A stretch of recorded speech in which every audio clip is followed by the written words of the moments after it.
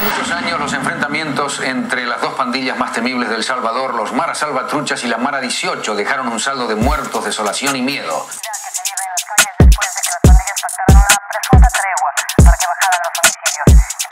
El presidente Mauricio Funes dijo hoy en la Cumbre de las Américas que ayer fue un día en el que no hubo homicidios en su país.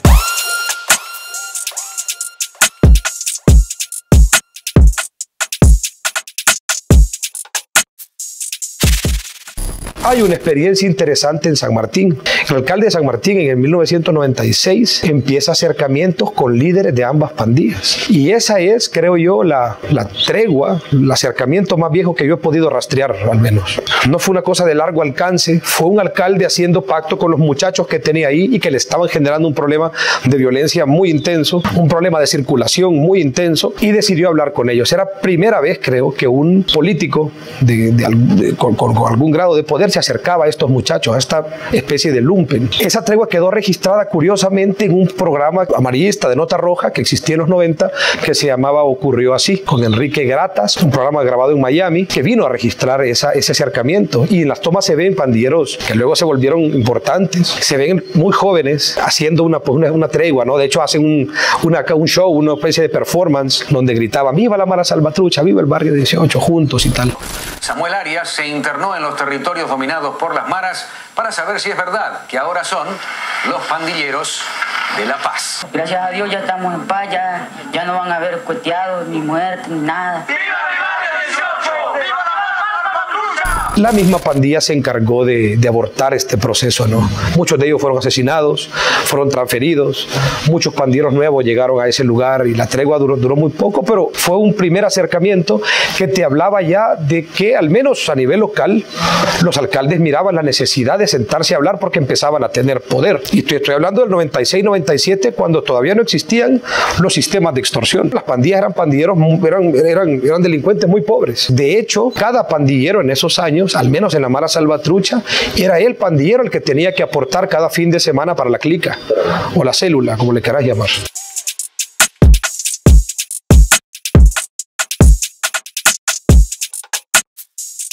Mira, al parecer todos los políticos han llegado a una misma conclusión. Hay que sentarse con las pandillas para poder gobernar desde de diferentes puntos. Es importante porque la, tregua del, del, 2012, la tregua que fue bautizada así, creo que por el periódico El Faro, la tregua es, era, era, era un primer acercamiento, luego, luego se torció, pero la idea original no estaba tan torcida. La idea original era básicamente cumplir algunos, algunas leyes penitenciarias a través de, decir, intercambiando con ellos una reducción de homicidios. Por supuesto que es otro, hay, hay, un, hay un montón de peros en esto, es otorgarles mucho más poder, etcétera, etcétera, pero la idea original no estaba tan viciada como las siguientes ideas. El problema de esto fue que esa primera idea, que de hecho es una idea en buena medida del general Munguía Payés, ¿no? que donde él analiza dos, dos caminos, ¿no? el camino de la hiperviolencia o el camino del diálogo y tal. Optó por el camino del diálogo, vio que el otro no era factible y realmente lograron reducir los homicidios. El problema de esto, bueno, son varios, una lista larga. Dos importantes es, uno, se trató de hacer a la espalda, a espaldas de la población. Eso era inviable, ¿no? Hacer eso, ese, ese acuerdo a espaldas de la población y mentirles, diciéndoles que habían reducido, muy parecido a lo que hacen ahora, que habían reducido por el buen accionar de la policía. Y otro que abrió la puerta para que los partidos políticos tuviesen acceso y se dieran cuenta del poder de las pandillas. En 2011 la pandilla y el Estado por primera vez hacen un pulso de manos fuerte. Mauricio Funes les pone los militares en el, en el registro del penal y las pandillas responden matando gran cantidad, no solo de policías, sino de agentes penitenciarios, incluyendo un director y un subdirector. Eso fue fuerte. Y después de eso el Estado se sienta a negociar con ellos. Había una sensación de victoria en las pandillas y de fortaleza. Y había una especie de convicción dentro de ellos de al Estado le ganamos cuando nos da la gana. El problema fue la segunda parte de la tregua, donde ya se retiran General Munguía Payés, donde se retiran los mediadores, Mijango, Colindres, y empieza un nuevo periodo, que es el periodo donde ya lo que estaban hablando, quienes estaban hablando con, lo, con los grupos de pandillas, los partidos políticos, buscando apoyo electoral y se ha publicado, bueno, ustedes en Revista Factum publicaron aquel material de Benito Lara terrible, donde estaba ofreciéndole un fondo de 10 millones de dólares ¿verdad? a cambio de apoyo electoral, ya ni siquiera de reducción de homicidios, ya de apoyo electoral.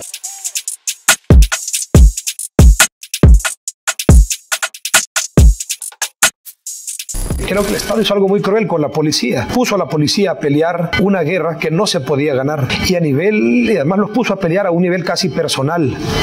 La PNC ya no estaba peleando de manera institucional esa guerra del 2015, estaba peleando a nivel personal y hay una serie de casos eh, que, se nos hace de noche hablando de eso, ¿no? Y el gobierno haciéndose del ojo pacho de, bueno, peleen como ustedes puedan.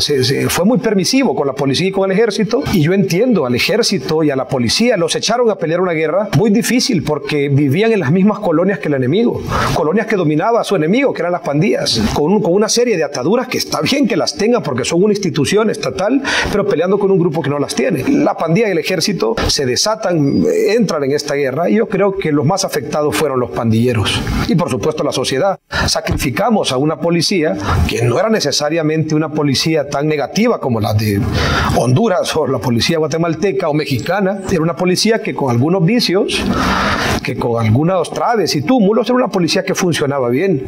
A esa policía la hicimos pelear una guerra que hincaron a muchachos de 13 años y les volaron la cabeza. No les puedes pedir que cuiden a tus niños en un parque. Entonces perdieron muchas cosas. Sacrificamos a una policía que te digo, eh, era una policía funcional. Eh, le sacrificamos la salud mental a esos policías, haciéndolos pelear esa guerra, esa guerra injusta y esa guerra innecesaria además. Y las pandillas perdieron también. Las pandillas eh, perdieron miembros, muchísimos miembros.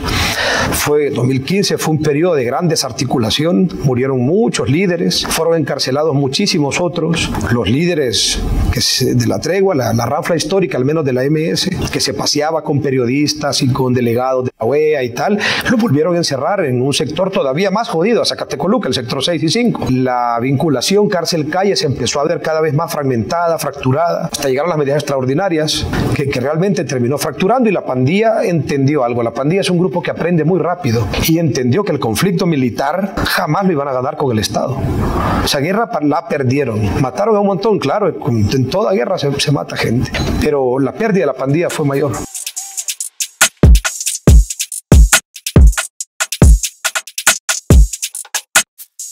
En el caso de Nayib Bukele se sienta con una pandilla que venía de perder.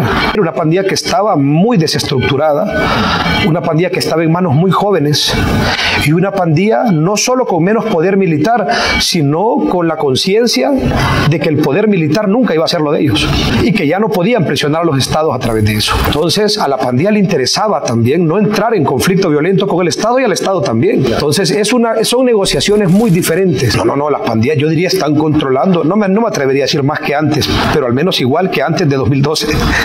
Las pandillas tienen realmente controlados todos los barrios. Estoy trabajando en uno, en las Margaritas, en Soyapango. Donde vas, donde cualquier cosa que compres, básicamente se le estás comprando a la Mara Salvatrucha.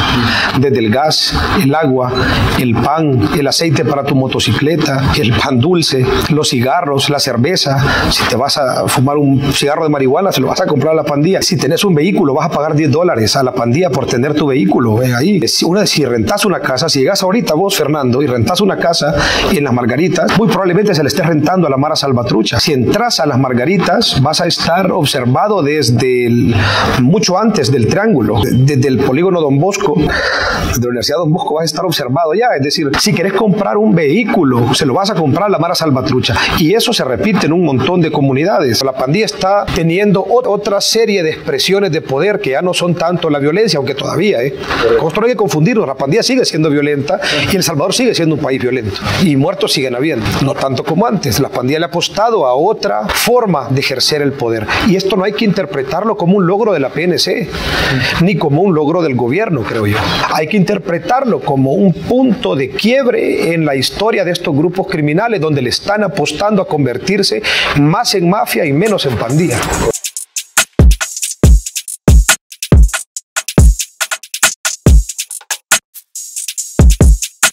Lo que sí te puedo decir es el plan control territorial, además es un plan muy confuso. Es un plan, yo creería, más de, naturaleza mediática. Originalmente nos dijeron que la estrategia de seguridad tenía que ver con el, con el plan Cuscatlán, ¿no?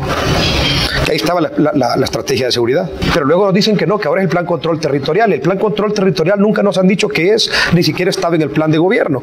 Es más una estrategia mediática. En realidad el plan control territorial, y decime si me equivoco, no está siendo una cosa cosa diferente que no se haya hecho antes. Tienen algún juguete diferente, tienen unos, drones que los usan de hecho muy poco y que hasta ahorita han, han servido para, creo que capturas nada más en las fronteras a gente que esté entrando con queso o algún contrabando, pero salvo esos juguetes nuevos, hay, ah, no vas a encontrar una cosa novedosa. Si el plan control territorial está haciendo esto que antes no se hacía. Lo poco que sabemos, lo poco que sabemos nos habla de un gobierno hablando de forma secreta con pandillas a espaldas de la población donde lo que se negocia es la vida de la población.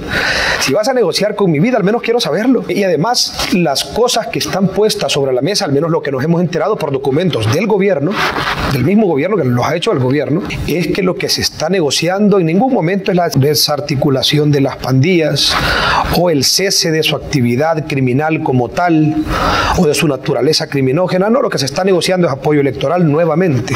Entonces, eso, eso, ese tipo de negociación creo que es muy negativa. Los gobiernos se acerquen y vuelvan parte de la mesa de soluciones a los actores violentos, eso no me parece negativo. Que el gobierno de Bukele se esté eh, reuniendo de manera clandestina dentro de los penales a través de, herramientas ilegales, eso sí me parece negativo. ¿no?